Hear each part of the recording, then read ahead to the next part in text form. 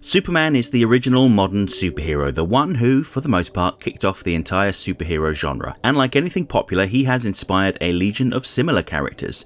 Characters like Fawcett Comics' Captain Marvel, Marvel Comics' Gladiator, and Image Comics' Omni-Man. Now that's not to say that these characters are rip-offs, they're all excellent creations that are entirely distinct in their own right. But the subject of today's video is a character who was intended to be a perfect copy of Superman, but things didn't quite go to plan.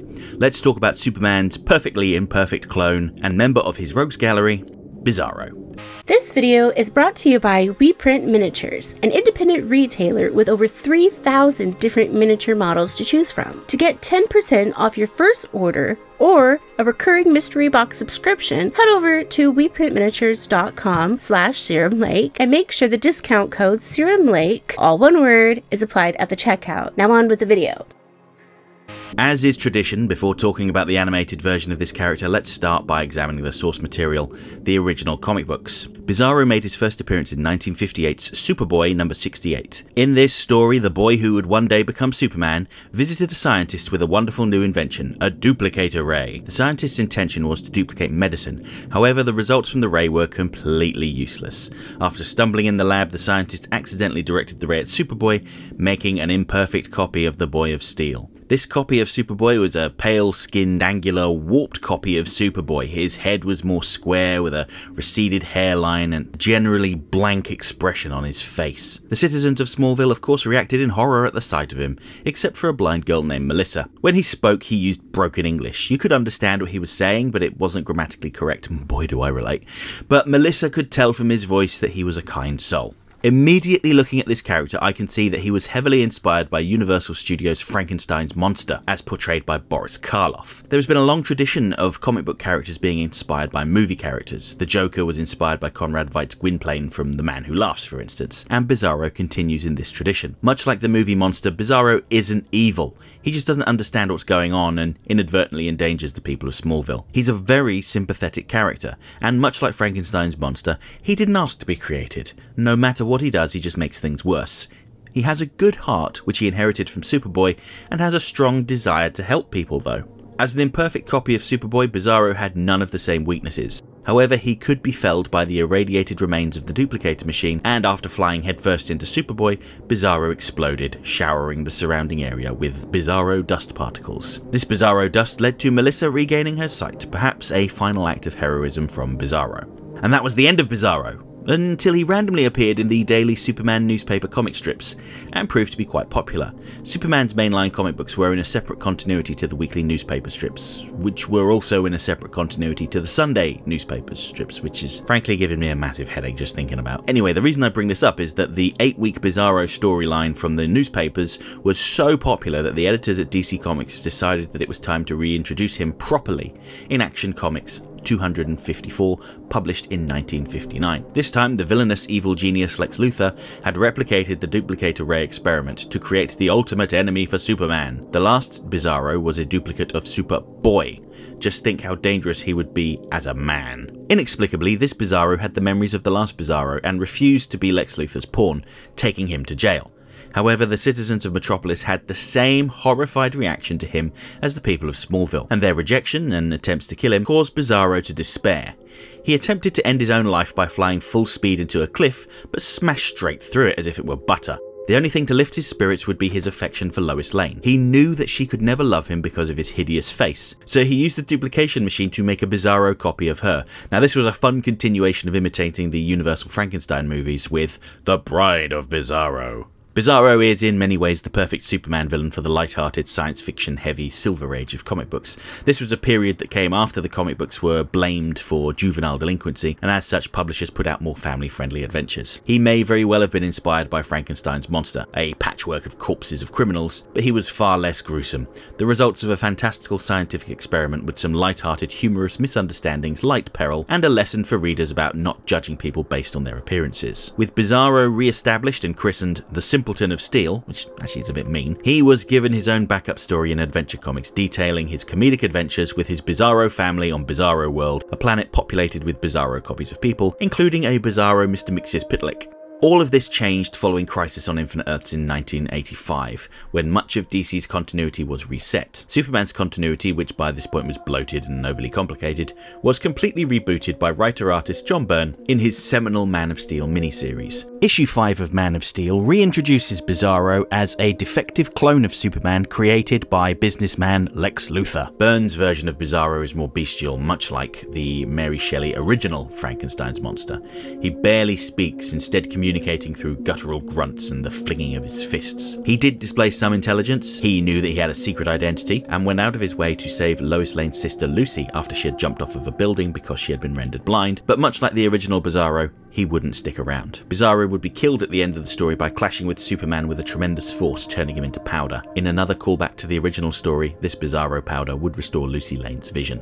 Bizarro wouldn't appear again until the mid 90s following the death and return of Superman storyline. It was in this era that the comic book writers tried to reimagine Superman's classic rogues for a modern era, including making Toyman a child murdering serial killer. This new Bizarro was reintroduced as a kind of hybrid between the original Bizarro and the post crisis Bizarro. He's a very talkative, comedic, defective clone of Superman created by Lex Luthor. At the time, Lex Luthor had cloned himself a new body after he had developed kryptonite poisoning, but his clone body was degrading. By experimenting on Bizarro, he hoped to find a solution to his cloning woes. Bizarro would remember things from Superman's life, particularly his affection for Lois Lane, which would bring the two into conflict. However, when Luthor's forces captured Bizarro and began to experiment on him, Superman and Lois Lane would do everything they could to save him. Sadly, they were too late, and he passed away in Lois's arms. I have to assume that Bizarro was killed off so frequently because DC didn't want a being with similar powers to Superman running around. There was a mandate at the time that Superman be the only Kryptonian in the DC universe, which is why Superboy was a half-human clone and Supergirl was a protoplasmic synthoid. And I suppose with Bizarro being a clone, you could always bring him back later on if you wanted to,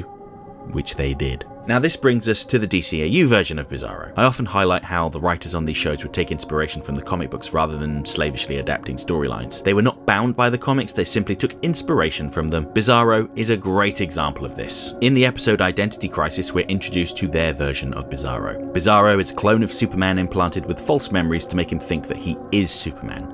For a time, the effect is quite convincing, although there's something off about the way he speaks to people.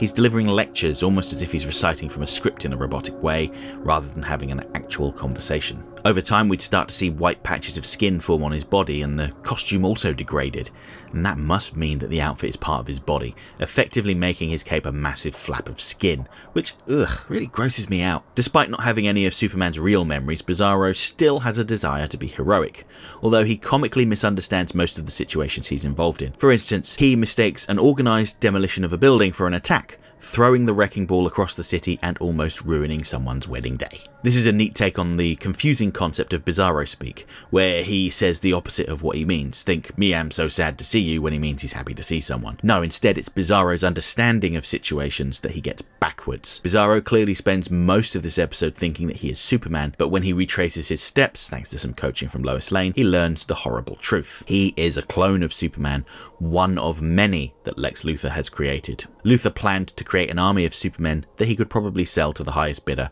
and also control. While there's nothing gratuitous about the clone scene, seeing a rack of tanks filled with these yellow, expressionless copies of Superman is really unnerving. Bizarro clearly reacts in horror at this revelation and goes about destroying the facility. He may not be particularly smart, but he knows that having these copies of Superman is a bad idea. But through his rage and disappointment, Bizarro still possesses a kind heart. When Lois is trapped by falling rubble and Superman stops fighting him to save her, Bizarro realizes the truth. Superman is the real Superman because he saved Lois Lane.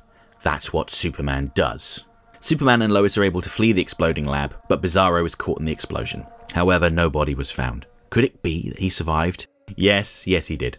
Bizarro would return in the episode Bizarro's World, which picks up shortly after the events of Identity Crisis. Bizarro survived the explosion at the lab and learns about Superman's Fortress of Solitude. The machinery at the fortress mistakes Bizarro for Superman, granting him full access to Brainiac's files on Krypton. After using the Kryptonian technology, images of Krypton are broadcast into his mind, and Bizarro believes that he needs to replicate Krypton on Earth including the destruction of the planet. Bizarro is easily confused and doesn't really understand what it means to kill. He just can't get his head around the idea that blowing up a planet full of innocent people is not something Superman would do.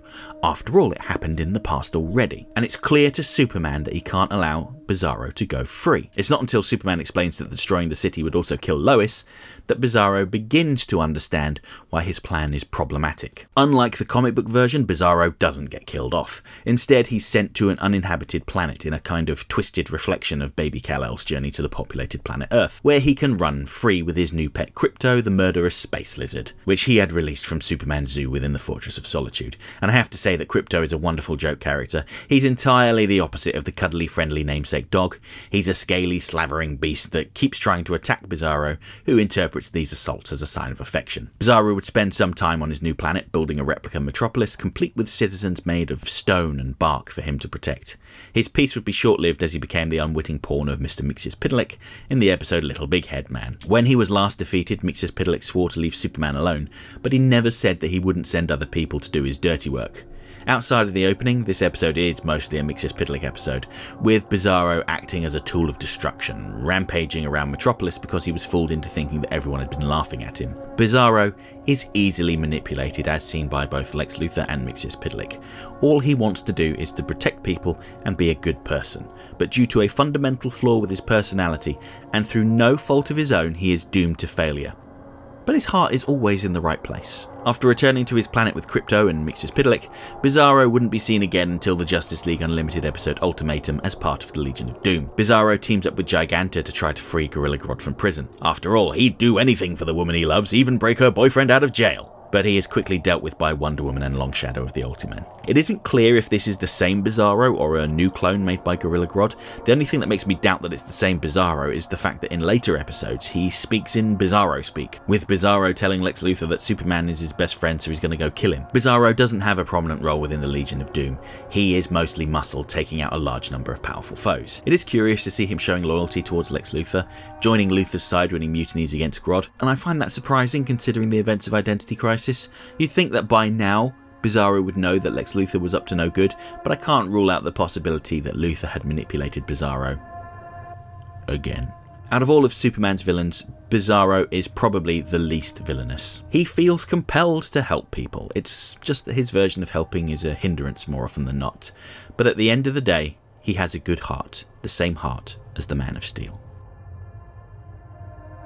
Okay, that's the end of this week's video essay. If you like this video, please don't forget to like, share, subscribe, comment. You know how YouTube works. If you enjoyed this look at Superman villains, do let me know in the comments and I'll start adding them into the rotation. If you really enjoyed the video and have the means, you can throw a buck or two my way via the thanks button. Likewise, I offer channel memberships for $1.99 per month. This will get you early access to my weekly video essay, sporadic members only videos, priority responses to your comments, an icon on your profile indicating that you're one of my members, and custom emojis. When I return next week, we're going to take a look at one of the most popular villains from the Batman Beyond era, and one that a number of people have confessed a weird attraction to. We're going to talk about the oily assassin, Inque Hope to see you then.